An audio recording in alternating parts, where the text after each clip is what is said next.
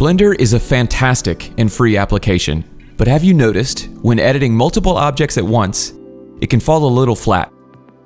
For example, in the graph editor, if you select an F-curve or click directly on a keyframe, you get a handy user interface panel for editing its values. If you box select the keyframe, however, no panel. To get the panel and edit multiple keyframes at once, you'd have to click on each key individually and use the Alt key to edit them all together. Also, if you wanted to move the keyframes, the panel moves them on subframes, meaning you could wreck your animation's timing. There is now an easier way with even more options. It's the Keys add-on for Blender.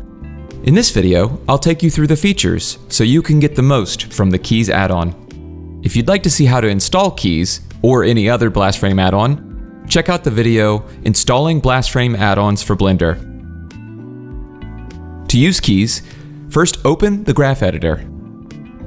Then open the Graph Editor's sidebar by going to View, Sidebar, or by pressing the N key on your keyboard.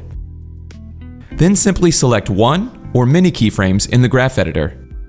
The Keys panel will appear. You'll also be able to tell how many keys you have selected in the status bar. Since Blender can't display all of the multiple values at once, Keys shows the values of the first F-curve selected, which is also indicated in the status bar. In the panel, you can set the interpolation for your selected keys using the Interpolation drop-down menu. You can also move the selected keys by a specified frame value. The good thing about this is that the default behavior moves them in whole frames, so you don't have to worry about snapping them to the nearest frame later. You can also adjust the left and right handle lengths and values.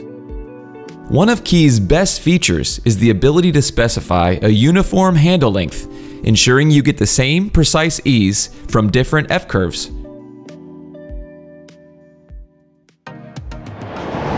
Thanks for watching. Please like and subscribe for more content from Blastframe. You can also visit blastframe.com for product news and special offers.